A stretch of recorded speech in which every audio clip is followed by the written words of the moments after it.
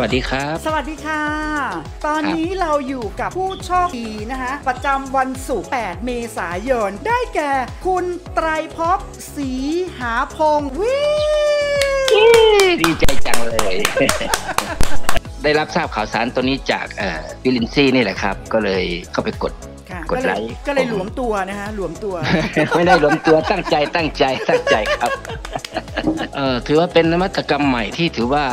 เข้ากับยุคเข้ากับสมัยนะครับ เพราะว่าโควิดมันก็เยอะเนาะทีนี้มีคนคิดนวัตกรรมตัวนี้ออกมา ถือว่าเป็นการช่วยโลกได้อีกระดับหนึ่งเลยเลยครับแล้วคก็รับตัวของ VA ฟิล์มเนี่ยออกแบบมาให้เป็นแผ่นฟิล์มใสแค่ลอกออกมา วัดก่อนก็ได้ครักับบวัดแล้วก็ตัดแล้วแล้วก็ติดครับในจุดสัมผัสเสียง